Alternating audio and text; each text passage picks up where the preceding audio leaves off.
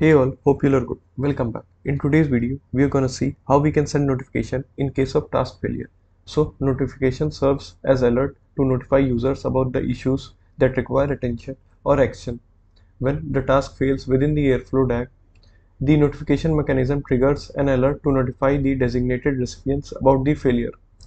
Airflow provides various notification mechanisms, with email being one of the most common. When configured, Airflow can send email notification to specified recipients informing them about task failures or other important events in the workflow. Now, let's set up to send and receive mail if task fails in Airflow. Let's head back to the web browser and type the URL myaccount.google.com slash security. Log in with your required user and enable the two-step verification process. So after enable of two-step verification process this will enable to send emails from this account. Now we need to create a temporary password. So open the url myaccount.google.com then app password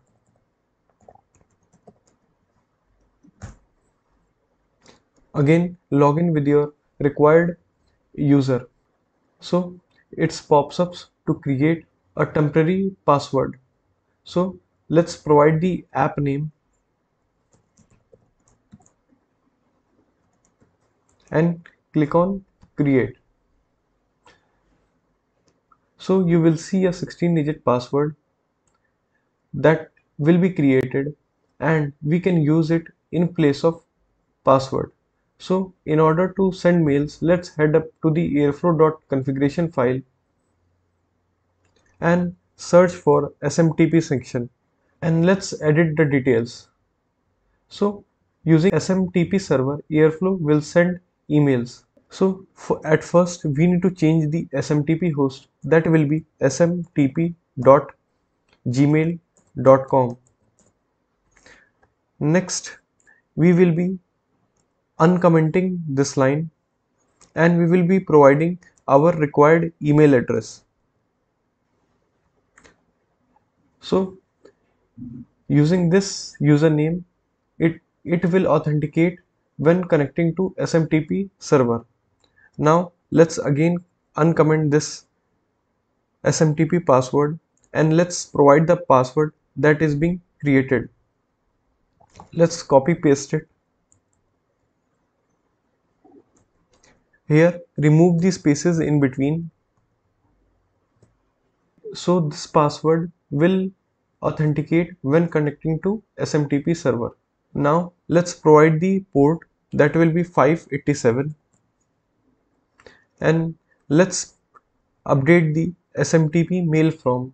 So this specifies the default from email address used when Airflow sends the email notification click on save. And now let's copy this airflow.configuration file from local to server where airflow is running. Let's open WinSCP and copy this file to the default directory of airflow. Now let's restart our web server and scheduler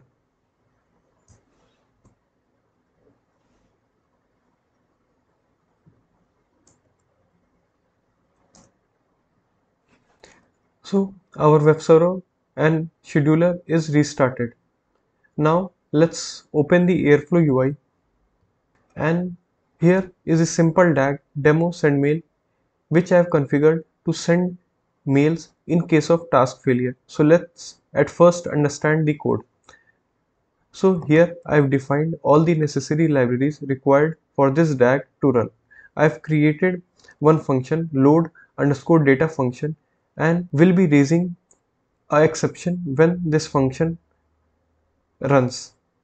Next, I have specified the default arguments and let's understand the email, email on failure and email on retry parameters. So email parameter specifies the email address to which Airflow sends not notification for task execution status update. we can provide one or more email address separated by commas. Coming to the next parameter email on failure, when it is set to true, Airflow sends an email notification if a task fails. This ensures users are promptly notified of task failure so they can take appropriate actions. Email on retry parameter. When it is set to true, Airflow sends a notification if the task is retried after the failure. This allows the users to be notified when the task fails initially and then successful completes on retry. So currently I have set the email on retry parameter to false. This means no email will be triggered when the task is retried. So at next I have defined a DAG with DAG ID demo underscore send mail and pass the default arguments catch up and schedule interval to none. Next I have created a task of type python operator and will be calling the function load underscore data through the python callable. So if the task fails, my task will be retried three times with the delay of 5 seconds. Next, I have set the parameter retry underscore exponential underscore back off. So between each try, the duration will be increased exponentially with each run. Now let's trigger the DAG and let's see whether the email is being received on our required mail ID or not. So now you can see after the required runs the DAG demo underscore send mail got failed. So in total this DAG ran four times first the default run and next three times due to the retry parameter being set up. Now let's open the Gmail to check whether we have received the mail or not. So we have received one mail with content as subject airflow alert task instance demo underscore send mail dot load data task got failed. And here you can see try 4 out of 4 after these many attempts this function was marked as failed. So here if you click on log link you will see the logs being created. Next we can mark the task as success by clicking on this link. Since I haven't set the email on retry parameter to true. So for every retry uh, attempt we have not received the mail